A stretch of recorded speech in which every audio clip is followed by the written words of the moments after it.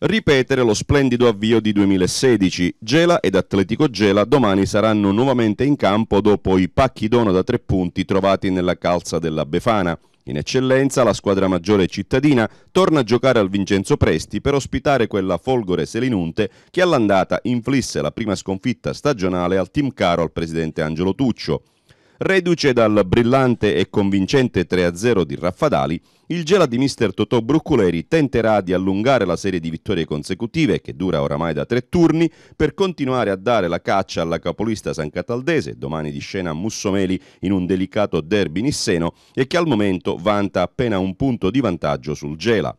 Senza lo squalificato capitano Bonaffini e col dubbio sul recupero del difensore centrale Russello, mentre sarà ancora out il centrocampista a tre piedi, quello che scenderà in campo contro la Folgore di Selinunte sarà un Gela lanciatissimo e oramai proiettato verso il salto diretto in Serie D.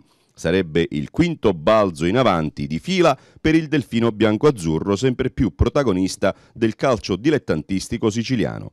Appuntamento dunque domani a partire dalle ore 15 allo stadio di Vieniscemi per un succoso Gela Folgore Selinunte.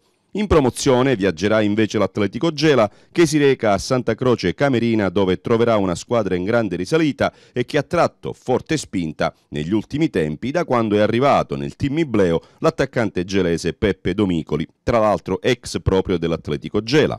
I giallorossi di Mister Misiti sono in corsa per i primissimi posti della classifica e non possono certo permettersi di fermarsi giusto ora. Anche perché Capitan Davide Ace e compagni, vincendo a Santa Croce Camerina, potrebbero approfittare del big match tra le prime due della classe che domani vedrà di fronte al Dino Liotta, Licata e Nissa.